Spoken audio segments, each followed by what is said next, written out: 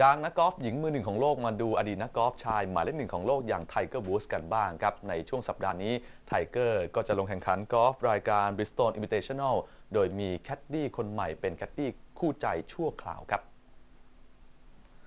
เมื่อวานนี้ครับไทเกอร์วูดส์อดีตนักกอล์ฟหมายเลขหนึ่งของโลก ก็ลงซ้อมครั้งแรกก่อนการแข่งขัน World Golf Championship รายการ Bridgestone Invitational ชิงเงินรางวัลรวมประมาณ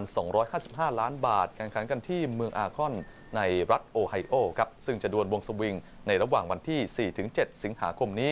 หลังจากเสร็จสิ้นการฝึกซ้อมครับวูดส์ซึ่งจะปัจจุบันอยู่มืออันดับ 28 ของโลก ก็ออกมาบอกว่าเขาได้ไบรอนเบลครับเพื่อนซี้ในสมัยเด็ก I thought it was เข้ามา time ทำ for หน้า change. ที่แบกถุงกอล์ฟให้ชั่วคราวครับ แล้วก็จะร่วมแข่งขันกับไบรอนเบลในการแข่งขันบริดจสโตนในช่วงสัปดาห์นี้ และก็หวังว่าจะร่วมงานกับเบลอีกในอีกสัปดาห์ข้างหน้าครับ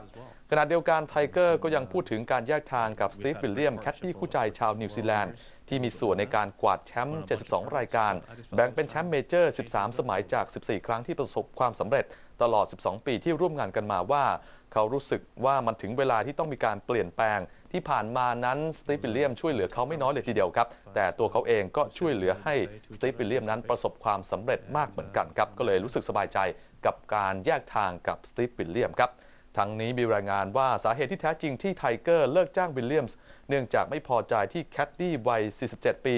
ไปรับหน้าที่แบกถุงให้กับอดัมสกอตโปรชาวออสเตรเลีย มือ 17 ของโลก ในศึกเมเจอร์ 2 รายการล่าสุด ทั้ง US Open และก็ The Open ระหว่างที่ไทเกอร์บาดเจ็บจนพลาดร่วมแข่งขัน โดยที่ยังไม่ได้รับอนุญาตนั่นเองครับ